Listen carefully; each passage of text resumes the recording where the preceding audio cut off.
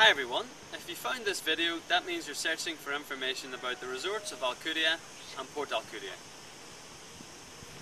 which you can see right behind me. Right now we're on the hill of Son San Marti which has great views overlooking the Bay of Alcudia and the Bay of Puerto Pollensa. Right now I'm going to give you some information about those resorts. Hotel Playa Esperanza is situated in the north of Majorca, in the middle of the Bay of Alcudia, which is the biggest bay of Majorca. The beach is directly outside your hotel, and it's a long sandy beach, and there's an icon on the screen, and you can see its location.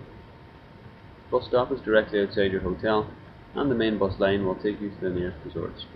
Alcudia Old Town, Puerto Pollensa, Pollensa Old Town, and Can Picafort, as you can see on the screen. From Port Alcudia to Can Picafort is about 30 minutes, and it will cost you €1.30. In Port Alcudia you can visit the marina and see all the boats and yachts, also, there are many bars and restaurants in the marina where you can have a drink and relax.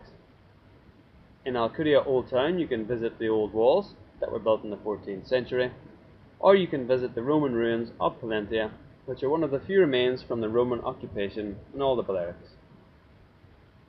In the port of Pollensa, you can go to the beach, or you can go for a short stroll on the Pine Walk. The bus from Port Alcudia to Port of Pollensa takes about 15 minutes. Pollensa Old Town is our last recommendation in the area, and it's a lovely place to go for a stroll.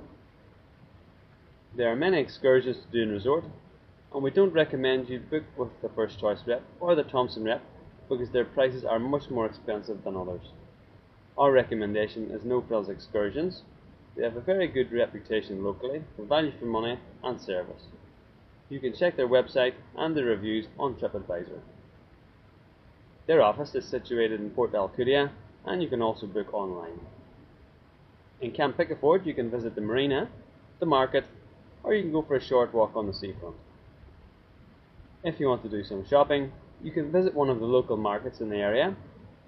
Port Alcudia Market is on Tuesday and Sunday. Can Picafort on Saturday.